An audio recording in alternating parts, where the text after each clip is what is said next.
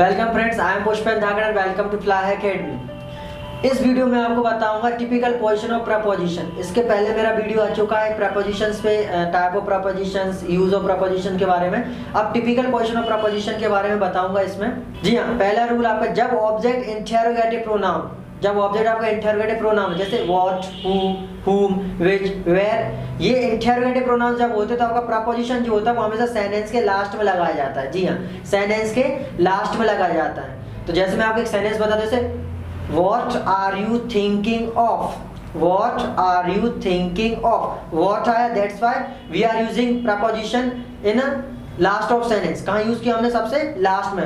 What are you thinking of जैसे ये और भी ले लेते हैं। Which of these chairs did you sit on which of these chairs did you sit on मतलब समझ रहे बात को? यहाँ पे लास्ट में आ रहा है बिकॉज़ ऑफ़ जब आपको ऑब्जेक्ट इंटेरोगेटिव प्रोनाउन होगा, जैसे कि what who whom which where तब आपको क्या करना है? प्रपोजिशन सबसे लास्ट में लगाना है। सबके लगाना है? प्रपोजिशन सबसे लास्ट में लगाना है। तो अब आपका अगले रूल पे आते हैं। जब आपका प्रपोजिशन रिलेटिव प्रोनाउन जैसे दैट में हो, कहाँ हो? दैट होता है। जब आपका ऑब्जेक्ट जो होता है रिलेटिव प्रोनाउन जिसको कहते हैं प्रोनाउन जो आपका दैट होता है, अगर आपका दैट होगा, तब भी आपका प्रपोजिशन सेंटेंस के सबसे लास्ट में लगाया जाता है। जो आपका, जो होता है दैट यूज़ करते हैं, जिस भी सेंटेंस में इसको रिलेटिव प्रोनाउन प्रोनाउन कहा जाता है दैट को, और अगर ये आपको यूज़ होता है सेंटेंस में तो इसको भी आपको जो प्रपोजिशन जो होगा, सबसे लास्ट में लगेगा। जैसे here is the magazine that you are that you asked for तो फॉर जो आपका है प्रपोजिशन है, जो सबसे लास्ट में है। क्या होगा? Here is the here is the magazine that you asked for here is the magazine that you asked for तो फॉर सबसे लास्ट में बिकॉज़ ऑफ़ दैट यूज़ कर यहाँ पे। अगर आपका रिलेटिव प्रोनाउन दैट होता है तो आपको यहाँ पे भी प्रपोजिशन होता है, सबसे आखिरी में यूज़ होता है। और बता देता आपको, जैसे this is the dish that she is found of this is the dish that she is found of तो ऑफ़ सबसे लास्ट में आ गया प्रपोजिशन है। और लिखा this is the girl that I told you of this is the girl that I told you of तो of last में आ रहा है। दैट है that's why we are using here of in in the last of the sentence third rule आपका होता है, जब कोई ऑब्जेक्ट आपका इन्फिनेटिव होता है तो प्रपोजिशन भी आपके इन्फिनेटिव्स के बाद ही लगती है। जैसे this is the good hotel to stay at उसके बाद ही अगर प्रपोजिशन आपका जैसे इनफाइनाइट इन्फिनेटिव्स के बारे बाद ही जैसे this is the good hotel to stay at I need a pencil to write with write with it is the beautiful house to live in in आपका जो आया वो प्रपोजिशन है। This is the ball to play with this is the ball to play with चौथा rule होता है, जब आपके सेंटेंस में रिलेटिव प्रोनाउन हिडन हो।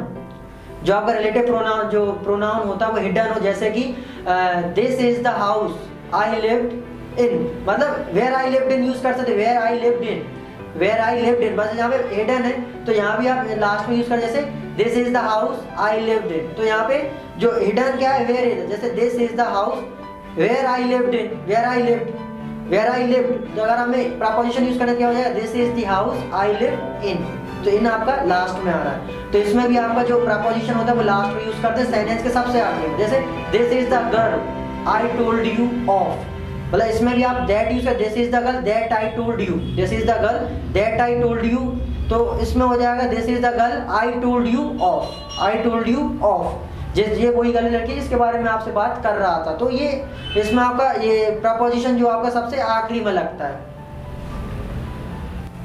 अगला रूल होता है तो कुछ प्रपोजिशंस होते हैं, जिनको शुरू में ही यूज़ करते हैं लास्ट में, शुरू में लगाते हैं ऐसे सेंटेंस आपके मोस्टली जनरली जो होते हैं, आपके इंटेरोगेटिव होते हैं। जैसे why which train did you come why which train did you come कौन सी ट्रेन के से तो आप आए हैं? For whom was instructing given for whom was instruction was given या फिर for whom was instruction given for whom was instruction given तो फॉर हूम तो फॉर आपका सबसे पहले आ रहा है। Why which train did you come why which you train did you come तो why which you train did you come तो वाई जो आ रहा है, आपका पहले आ रहा है। इस तरह के इंटरवेटिव सेंटेंस में आप प्रपोजिशन को सबसे पहले लगाते हैं।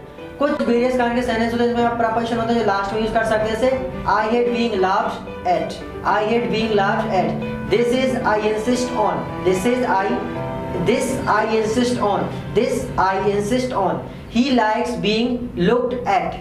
He likes being looked at इस तरह के सेंटेंस में आप लास्ट प्रपोजिशन का यूज़ कर सकते हैं। सो होप यू गाइस आपको ये समझ में आया होगा टिपिकल पोजीशन ऑफ़ प्रपोजिशन तो मोस्टली आपको जो एंडिंग में जो लगते हैं स्टार्टिंग में लगते हैं, कहाँ लगते हैं, आपको थोड़ा उसमें समझ में आया होगा।